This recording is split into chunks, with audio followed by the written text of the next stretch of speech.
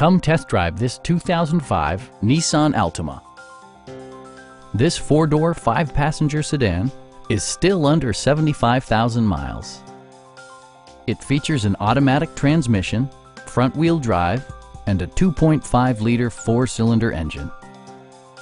Nissan infused the interior with top-shelf amenities such as a tachometer, remote keyless entry, and one-touch window functionality.